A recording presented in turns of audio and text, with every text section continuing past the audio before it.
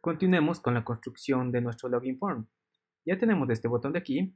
Ahora necesitamos construir estos dos botones de acá abajo. Pero antes voy a cambiar el color de este botón que lo tengo con un color celeste a este azul de acá. Voy a ingresar al sitio web material.io. Voy aquí a Sign, Color. Y aquí vamos a poner The Color System. Y por aquí voy a buscar el color respectivo. Si no me equivoco, lo tenemos por acá abajo. Y creo que es este color de aquí. Voy a copiar este color.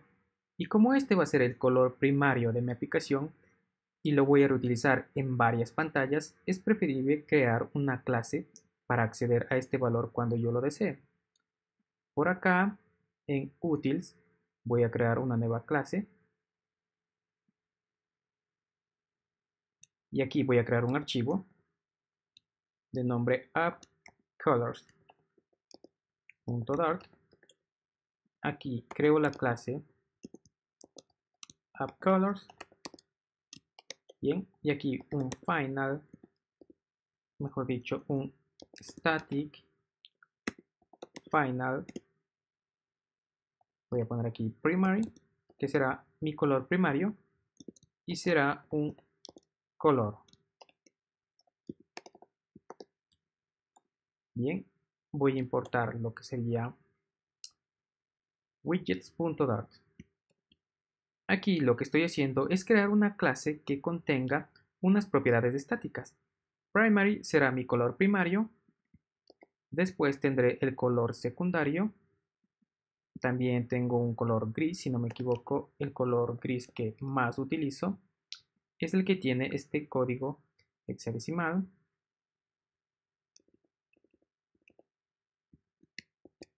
Bien, por el momento voy a utilizar únicamente estos dos colores. Entonces por acá me voy a mi roundedButton.dart y aquí defino una nueva propiedad de tipo color de nombre background color.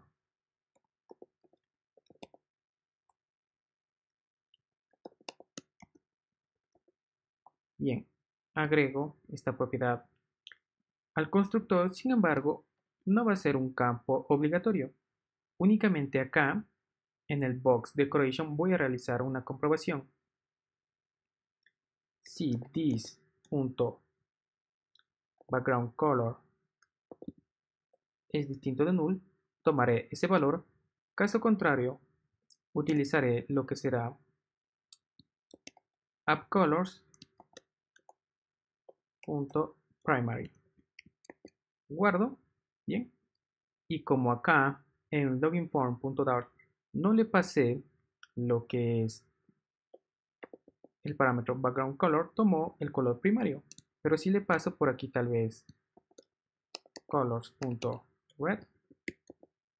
Bien, toma dicho valor. En mi caso voy a utilizar el color primario. Perfecto. Ahora vamos a crear estos dos botones de acá. Primero, comencemos con este texto. Por aquí vamos a definir un text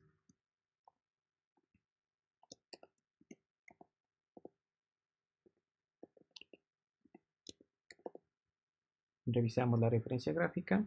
Bien. Guardamos. Le vamos a dar una separación.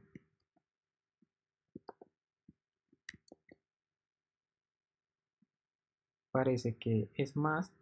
Aquí un valor de 30. Bien. Ahora procedemos a construir estos botones de acá. Como quiero utilizar estos botones tal vez en otras pantallas, voy a convertir estos botones a un widget reutilizable. Por aquí vamos a poner un nuevo archivo Dart de nombre Circle Button.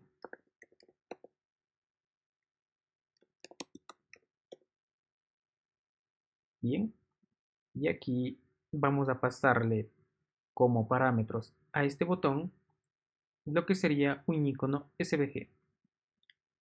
Primero creamos un Styled Widget aquí sería cycle button. Vamos a importar material y también Cupertino.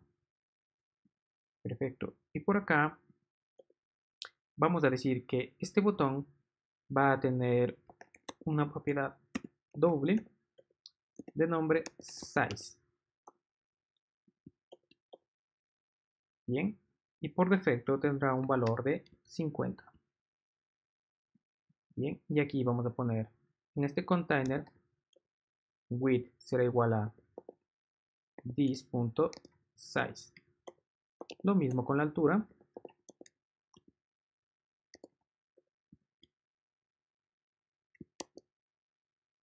Bien y vamos a definir decoration.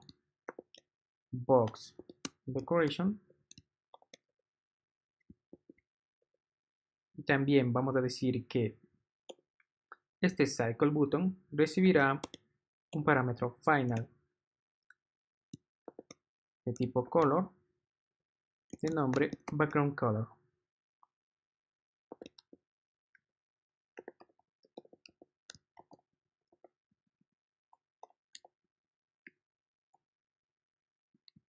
Inicializamos la propiedad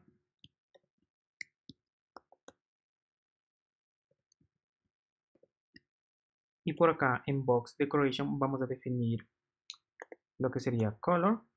Y si this background color es distinto de null tomaremos dicho valor. Caso contrario appcolors primary.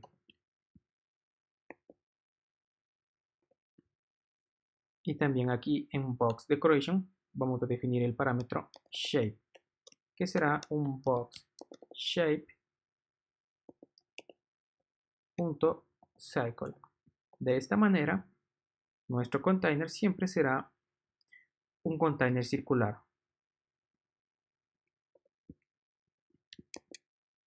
Bien, vamos por acá al loginform.dart. Debajo de este texto de aquí, vamos a definir un widget de tipo row. Definimos children, como al final, y aquí le vamos a pasar lo que sería un cycle button necesito pasarle lo que sería size pero antes debo importar cyclebutton.dart de la carpeta widgets. Bien vamos a dejar que tome el valor por defecto de el tamaño y el color de fondo también por acá, nosotros en el widget Roundel Button tenemos la importación de appcolors.dart. Se realizó de manera automática gracias al IDE Visual Studio Code. Cuando yo hice appcolors.primary, automáticamente Visual Studio Code me importó appcolors.dart. Lo mismo pasó aquí en cyclebutton.dart. Aclarado esto, Volvamos acá a loginform.dart. Vamos a duplicar esto de aquí. Bien. Vamos a darle un poco de separación. Size box. Aquí un ancho de 10 o tal vez 30. Y aquí yo quiero que esto esté centrado horizontalmente. Defino main axis alignment, main axis alignment punto center. Bien, voy a buscar por acá en Material IO el color respectivo para el botón de logueo vía Google. Voy a copiar este código de aquí. Y acá, a mi segundo Cycle Button, vamos a pasarle Background Color, Color, y pego el hexadecimal. Compruebo con mi referencia gráfica. Bien, parece que la separación es demasiado y también los botones creo que deben ser un poco más grandes. Por aquí vamos a poner 20 de la separación. por acá vamos a darle separación entre este texto y los botones. Un valor tal vez de 10. Bien, vamos a darle el tamaño de 60. Lo mismo acá. Comprobamos. Bien, parece que 60 es demasiado. Tal vez aquí 55 y acá 55. Perfecto. Comprobamos los colores y aquí este es un azul no tan fuerte y también el rojo es un azul un poco más claro. Así que vamos a buscar el azul respectivo. Tal vez este color azul de acá. Aquí definimos background color. Pegamos el color. Bien. Comprobamos. Ahí lo tenemos. Vamos con el color rojo. Tal vez este color de acá.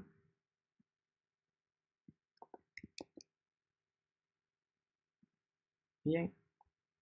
No es ese color tal vez este color de aquí. Sí. Y al azul parece que tal vez es este color de acá. Bien. Por último, necesitamos lo que son los iconos, el icono de Facebook y el icono de Google. Ingresamos nuevamente a flaticon.com, buscamos Facebook, Bien, voy a comprobar mi referencia gráfica y es este icono de aquí. Clic acá, descargo en el escritorio, guardo. Ahora por acá voy a buscar si tengo el icono de Google. Bien, selecciono aquí. Hmm, voy a ver si puedo editar esto o mejor aún busco directamente Google por acá. Veamos si tenemos el icono respectivo. Al parecer no lo tengo, así que voy a utilizar este icono de aquí. Clic acá, voy a descargarlo. Aquí voy a poner Google. Bien, creo que es este icono de aquí. Realmente voy a reemplazar ese icono. Bien, ahora voy aquí a Assets, me voy acá a Page, Login, Icons, y ahí voy a agregar lo que sería Google y Facebook. Ahora en POXPEC y AML voy a agregar los iconos respectivos. El de Facebook y el de Google. Guardo para que se ejecute el comando flutter package get. Ahora aquí en cyclebutton.dart vamos a decir que es necesario pasar una propiedad o un parámetro de tipo string de nombre iconPath. Por acá agregamos la propiedad iconPath al constructor y esto será un campo requerido. Y por acá vamos a poner una validación. IconPath debe ser distinto de nulo.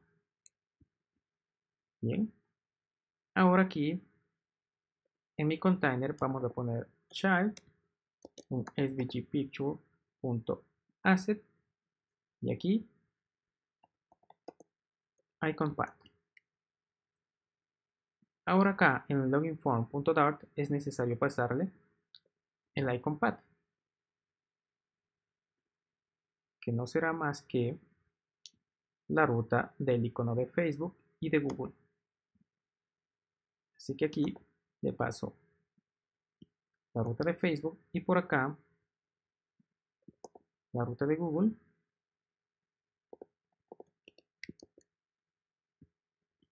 Bien, vamos por acá a cyclebutton.dart